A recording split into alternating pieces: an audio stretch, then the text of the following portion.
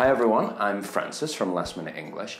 Today we're going to talk about a very quick and easy way that you can improve your English vocabulary and fluency by doing one easy thing. So let's get started. So, how can we improve our vocabulary and fluency in a very quick way? The answer is collocations. So collocations are those simple words that we very often put together to make a fixed meaning. For example, get on well with someone.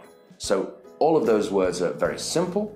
When we put them together, they mean have a good relationship with someone. Collocations are extremely common. Uh, as native speakers, we use them all the time, every day uh, every conversation. So they're really worth learning.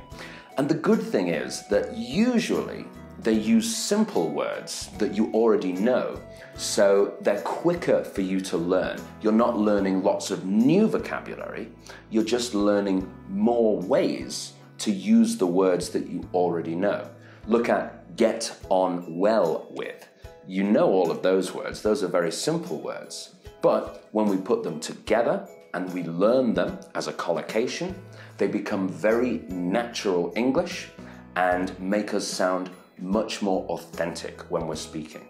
And because they're just simple words that you already know, it's easier for you to remember them when you're talking, and that's also going to improve your fluency. So it's vocabulary and fluency. Now, there are hundreds of collocations that are very common in English. So I think a lot of them really are worth learning. Uh, but in today's video, we're just going to look at eight very quick ones, all using the word get. So the first one we already saw, get on well with someone. So it's have a good relationship. We could say, I get on well with my parents. The next two are about uh, work. So first of all, get a job. So that means when you find a job. You don't have a job, and then you do have a job. That means you get a job. So you could say to someone, You should get a job, or I need to get a job. And then, if you don't do your job very well, you might get fired. So that means your boss says, Goodbye.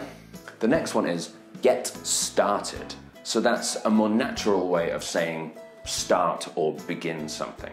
You'll often hear it in um, a meeting or in a class. Uh, the, the manager or the teacher will say, okay, let's get started. The next one is get the message, get the message. And this one actually means two things. First of all, very simply, it means receive a message. That's, one, that's easy to understand. The other one is a little more difficult. It means um, if someone is not understanding what you're saying, or maybe they don't want to listen to what you're saying for some reason, then we can make them understand, and that means that they get the message. Uh, for example, someone could say, Make sure that guy gets the message. It means make sure he understands even though maybe he doesn't want to listen. The next one is get over. So this talks about when you've had something bad in the past. For example, you got fired, or maybe you uh, failed an exam, or maybe you broke up with your boyfriend or girlfriend. And you've been feeling bad about that for some time. What you have to do is to get over it or get over them, get over that person. Uh, and it means that you stop feeling bad. You put all of those bad feelings into the past and you start to feel good again. That's getting over something. The next one is get on with something. Uh, and that means to continue with something, maybe do it a little bit faster.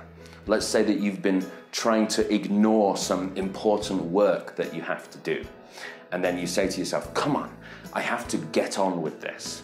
That means I have to continue it. I have to try to finish this work. And then the last one is get lost. And this one also has two meanings. The first one is when you're you're going somewhere and you can't find the way and you don't know where you are. That means you got lost. You have no idea where you are. The other meaning is uh, it's kind of a way of being rude to someone, telling them to go away. You can say, get lost.